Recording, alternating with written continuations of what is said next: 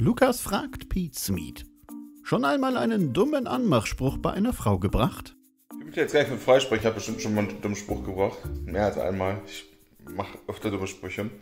Aber trotzdem ähm, nicht als so, yo, hier ist die Catchphrase, mit der sorge ich dafür, dass du mit nach Hause kommst. Sondern, ja, irgendwann zwischendurch habe ich bestimmt was Dummes gesagt. Wie in den Videos auch so, weißt du? Nee, noch nie.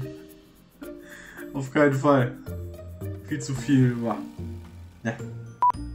Da das bei mir schon Ewigkeiten weg ist, her ist, ähm, wann ich das letzte Mal einen Anmachspruch gemacht habe, gebracht habe. Ich glaube, so einer war ich nie. Also wirklich nicht. Nee. Also ich werde halt ganz normal mit den Leuten geredet haben.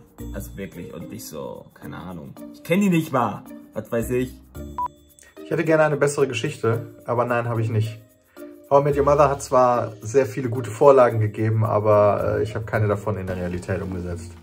Gute Frage. Also, äh, ich glaube nicht. Höchstens vielleicht mal sowas wie, mh, oh, kennen wir nicht uns irgendwo her oder so? Aber ich glaube, das war dann auch aus äh, mehr oder weniger Überzeugung.